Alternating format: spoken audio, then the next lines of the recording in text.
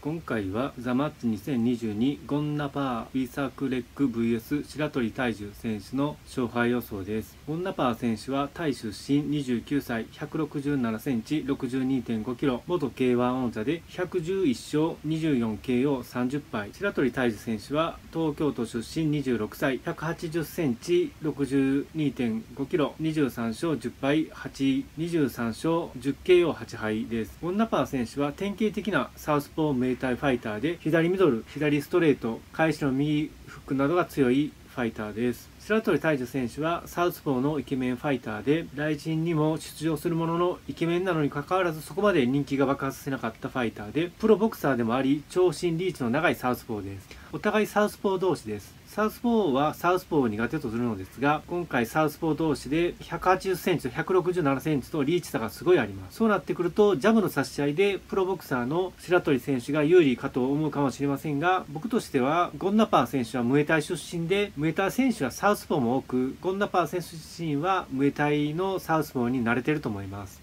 逆に白鳥選手は原口選手はオーソドックスなのですがスイッチしても構えられるのですが終始サウスポーにスイッチし原口選手に白鳥選手は負けてしまいました。また白鳥選手は1 8 0センチと非常に背が高いのですが都会にいる白い小鳥みたいに足が非常に細いのでゴンナパー選手のカーフキックで足を壊されてしまうのかと思っています。というのもゴンナパー選手は同じ180センチのアンボルキア選手と戦った時もどんどん強い蹴り、強いストレートで圧力をかけ最終的には確か KO 勝ちしたと思います。今回白鳥選手の細い足、ボディなどを豪快な蹴りパンチでダメージを蓄積させると思います。またゴンナパー選手は出世試合が山崎パン祭りパイセンとゲイオ選手の戦いがあったのですがゲオ選手が負傷欠場で急遽1階級上で試合をしたところパン祭りパイセンの前足をインローで壊し勝ってしまいました。このように非常に強いインローミドルパンチを持ってますのでゴンナパー選手が勝つのではないでしょうか。僕の希望ではゴンナパー選手勝利で実際もゴンナパー選手